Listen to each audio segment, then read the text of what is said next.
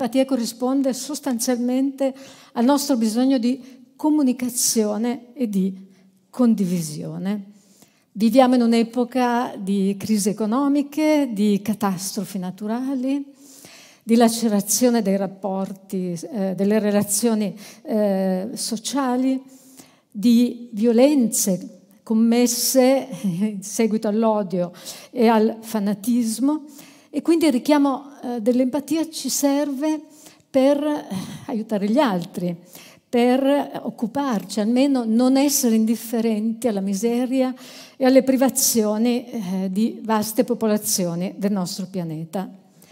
Però per aiutare gli altri è necessario non considerarli soltanto delle vittime passive. Qualche volta noi pensiamo che abbiano solo bisogno di un aiuto materiale. Si tratta invece di sapere che sono uomini, donne, che hanno una storia, un progetto di vita, dei desideri. Ed è proprio qui che dobbiamo chiederci, ma perché per amare gli altri dobbiamo vederli soffrire? Ho già parlato di indifferenza, spesso pur vedendo un altro che soffre, voltiamo la testa dall'altra parte. Ora, l'empatia è proprio la capacità che ci permette di entrare direttamente in contatto, anche semplicemente eh, guardando una persona eh, in faccia, cioè vedendo per esempio che ha una smorfia eh, un po' cupa eh, eh, delle labbra oppure agli occhi un pochino tristi. Ecco, l'empatia ci mette in contatto diretto con le persone a partire proprio da gesti. Non ci vogliono spesso nemmeno le parole no? per capire che un'altra persona eh, ha qualche problema, anche certamente che ce l'ha con noi, eh, per esempio, o ha bisogno di qualcosa d'altro. Si tratta di una capacità, e questo bisogna saperlo, ripetercelo molto spesso, di cui tutti siamo dotati. Dell'empatia infatti oggi conosciamo molto a livello scientifico, conosciamo la sua storia nell'evoluzione della specie, è stata fondamentale per la cooperazione e per l'associazione anche per la cura dei piccoli e dei deboli. sappiamo anche molto dei circuiti cerebrali associati all'empatia. Però non basta pensare che l'empatia sia un istinto o eh, si inneschi con una scarica di neuroni. Perché se fosse così eh, non potremmo spiegarci come mai la paura dell'altro è un aspetto fondamentale, non solo della nostra società, ma anche della nostra vita. Paura qualche volta persino di innamorarci perché abbiamo paura di essere traditi, di essere abbandonati. Oltretutto poi pensiamo come sia difficile oggi comunicare eh, tra eh, vecchi, giovani, tra uomini e donne, anche questa è una storia purtroppo nefasta, soprattutto negli ultimi tempi, eh, tra ricchi e poveri, tra nord e sud, tra gente che abita in città e gente che abita in campagna. Il mondo in cui noi viviamo quindi fa dell'empatia quella che eh, io chiamo un wake up call, cioè un avvertimento anche, che può essere anche forte, violento, a investire le nostre energie nel rischio, nella difficoltà molto spesso della scoperta dell'altro. L'empatia deve diventare per noi una sveglia, perché proprio in questo modo io credo diventerà un turning point fondamentale per il futuro di questo mondo che attraversa crisi profonde. E eh, non penso soltanto all'economia, ovviamente, alla finanza, ma penso anche all'ambiente. Cioè solo un, questo turning point che, per cui ognuno di noi mette qualcosa di sé incontrando l'altro, facendo, diciamo, affrontando l'esperienza delle relazioni, solo in questo modo forse fermeremo una deriva catastrofica. Scoprire l'altro è la quintessenza dell'empatia.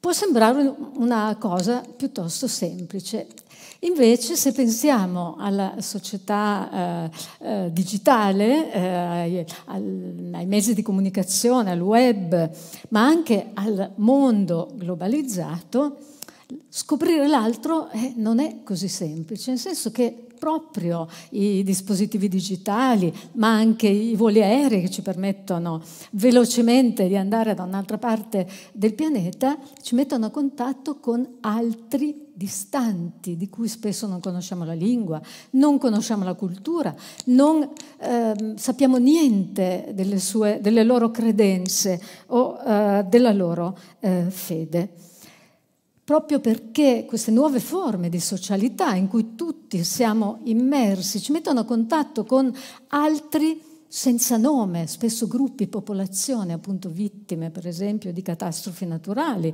o di queste grandi migrazioni, d'altra parte altri che stanno con noi, abitano il mondo con noi, sono parti, attori della nostra stessa scena Proprio per questo noi spesso ci fermiamo a simpatie immediate oppure anche a, a repulsione o avversioni immediate. Eh, faccio degli esempi che sono noti a tutti, cioè perché noi ci emozioniamo per la foto di un bimbo, per esempio quella famosa foto diventata virale del bambino tirato fuori dalle macerie di Aleppo, no?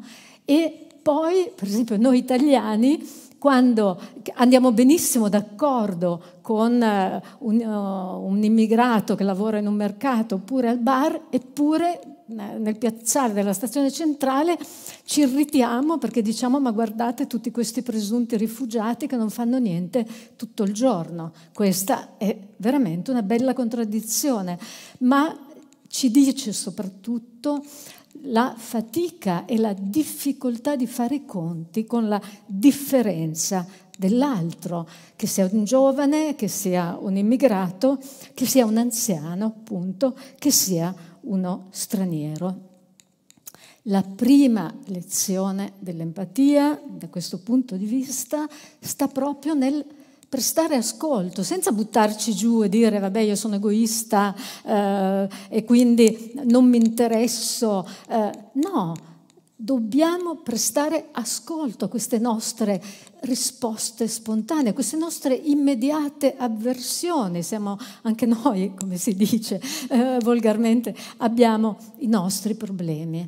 Ma prestare ascolto e prenderle sul serio vuol dire accettare che le nostre attrazioni, le nostre simpatie e le nostre antipatie possono anche dare vita a qualcosa di diverso e quindi possano anche portarci a riconoscere il valore di quelli che abitano il mondo insieme a noi, che come noi hanno delle emozioni, hanno dei pensieri, hanno dei eh, desideri.